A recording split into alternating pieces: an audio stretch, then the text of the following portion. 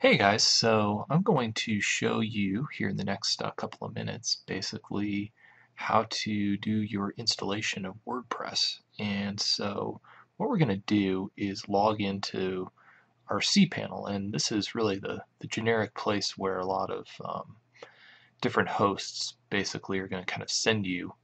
Um, and this is where we basically get access to that uh, server where uh, we're going to be putting our website. So nothing to get intimidated about here or anything. Um, let me go ahead and log in. If you have uh, your credentials because you've signed up for hosting and stuff, why don't you uh, go ahead and open that up now in uh, your browser and uh, we can do this together. So I'm going to get logged in. I'm just going to pause the video here while I type in my stuff. Okay, so here we go. Uh, do we need help getting started? No, thanks. Um, okay, so basically once you're in the cPanel, you've just got all these functions um, that you can do, and um, we're just going to go right past all of this stuff.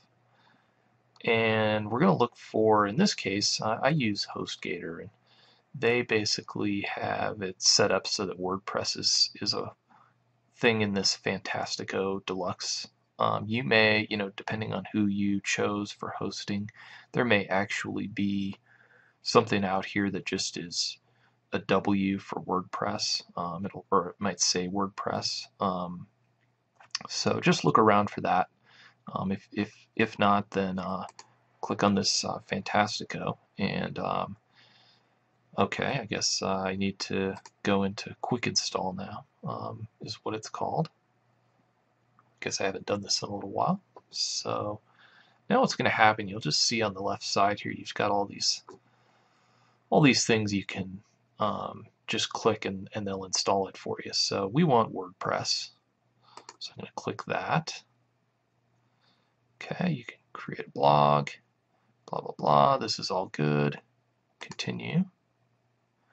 Okay, so now this part's critical. Um, we just want to install it right on our main domain.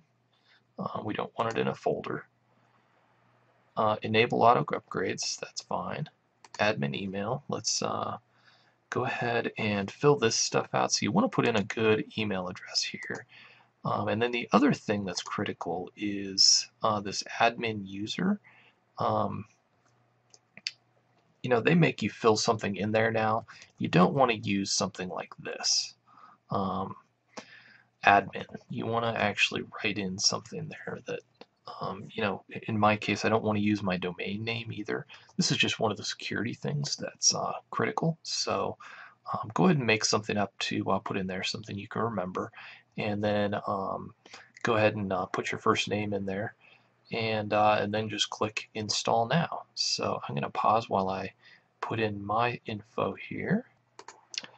Okay, so we've clicked install now and there we go. Um, looks good and uh, now we're ready to go. So I'll stop the video now and uh, we'll tune in for another video to uh, get the site all set up. Thanks for joining me.